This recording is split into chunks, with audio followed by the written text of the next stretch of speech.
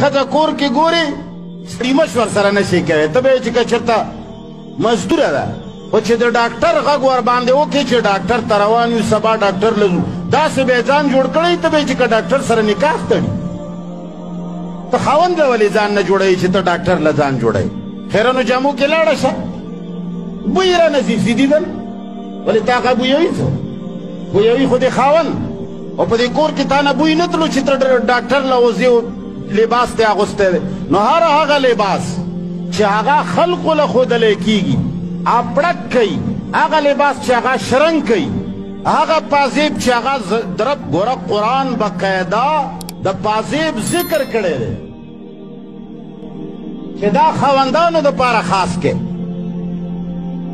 دا زینت ده دا خوند ده هر هغه شی چې هغه د خوند شی ده هغه به بل چاته نه ښایي د ښځې خبرې خوندورې دي رسول الله صلی الله علیه وسلم بی بیانو نه صحابه کرامو پوښتنه کوله قرآن حکم کړی چې کله تاسو هغوی له جواب ورکوئ زنانه چې کله کور نه پردی نارینه له جواب ورکوي خواږه اواز کې به یې نه کوي کور ته سړي اواز وکړ ور یې وټکولو تا کور کې ماشوم نشته چې جواب وله وکړي زاړه ښځه نشته چې جواب وله وکړي سړی نشته چې جواب وله وکړي ضروري دی چې ته ورته ووایې چې زما خاوند کور کې نشته نو ته به ورته وایې چې نشته اول خو د سړي زوی درې ځل سلام واچوه په کور دروازه یا درې ځل دروازه وټکوه یا درې ځل ټالي ووهه چې تاله جواب رانغی بس رسول الله صلی الله وسلم حدیث مبارک ته واپس لاړ خو که چېرې د سړي زوی نه و ولاړو بعضې خلک واقعي د سړي زمن نه دي ځکه چې د قرآن او سنت نه خو موږ خویونه نه دي زده کړي چې موبایل دله څوک کوي کر کر چې اوچت کړی هلکه خو چې دوه ټلی دې ورکې اوچتې نه کړو خو بس پرېږده که څه ضرورت دی چې بیا نور کغوې تا د رسول الله حدیث نه دی اورېدلی هغه په دې موبایل نه فټ کېږي نو که درې ځلو نه پس هم سړی د دروازې نه واپس نه شو، ښځې له اجازت دی چې ورته ووایي چې کور کې څوک نشته، خو په ناز و نخره به ورته نه وایي. کور کې څوک نشته. داسې داسې به ورته ووایي چې هغه وایي چې دا چېرته بلا وه. درشت اواز کې کور کې څوک نشته. داسې طریقې سره ورته ووایه چې هغه ستا په اواز کې خوږوالی محسوس نه کړي. او که هغه خوږوالی محسوس کړي هغه بیمار دی هر سړي په زړه کې بیماري ده خبرې اوږدوي هېره خورې چېرته تللی دی خبره نه یم پلاني دی بیا بیا د نور اوس اخري کېدای شي چې درننه هم شي کور ته ته به درست اواز کې سخت اواز کې سخته لهجه کې به جواب ورکړي که پېچنګولو دي وي او کنه دي وي داسې جواب یقینو که ما ته یاد دي یو وکیل ما خپل وکالت ته نیولی و زما معامله وه وکیل و وکیل نه مولا و نه شیخ و نه بزرګ و ما به هغه ته ټلیفون کولو کله کله به دا وکیل نه دا نمبر په کور کې پاتې و یاره ته په خدای یقین وساته چې د هغه ښځې به ماله داسې جواب راکولو چې صرف کنځلې پکې نه وي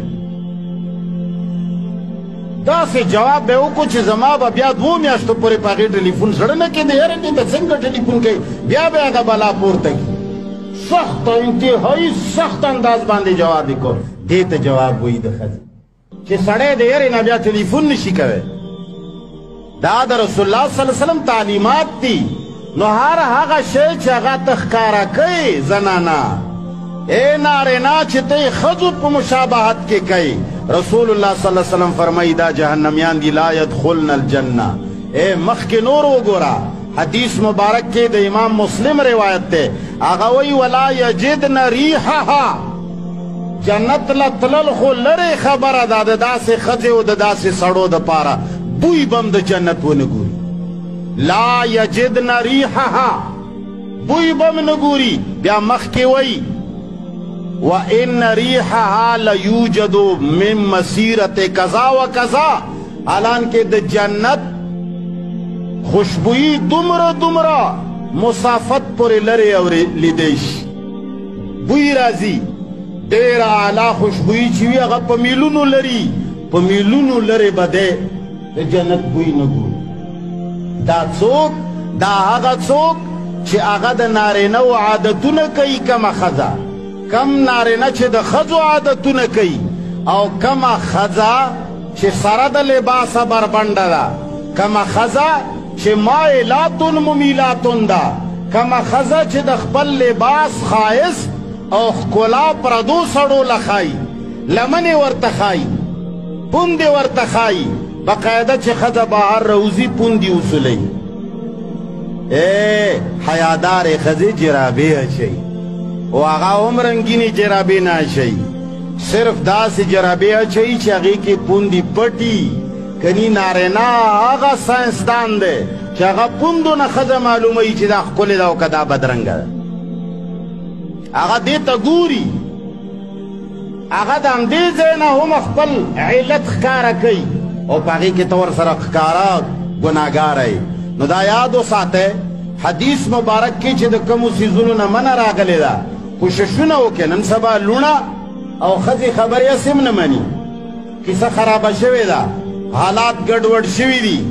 نن سبا ښځې چې دي هغه حاکمې ګرځېدلي دنیا الټه ده خو سړی خپل کوشش وکړي خپل محنت وکړي او کومه ښځه چې حیاداره وي هغه د داسې بیان اورېدو نه پس دغسې لباسونه نه کوي